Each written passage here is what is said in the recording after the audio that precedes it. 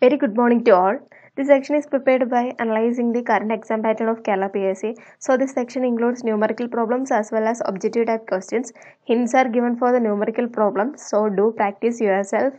Uh, if any question need explanation, please comment below. I will put video solution for the same. Please subscribe to Clock to Electronics for the updates and PDF of the slides are available in my Telegram channel. So link is given in the description box and the time given for each question is based on the difficulty level. So let's start it